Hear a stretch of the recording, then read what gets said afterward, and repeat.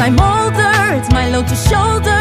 No. You have to listen, it was such a hard decision. I wanted to save you, the anguish it takes to do what was required.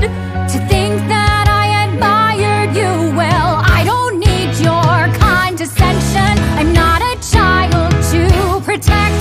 Was talk of virtue just pretension? Was I too naive to expect you to heed the morals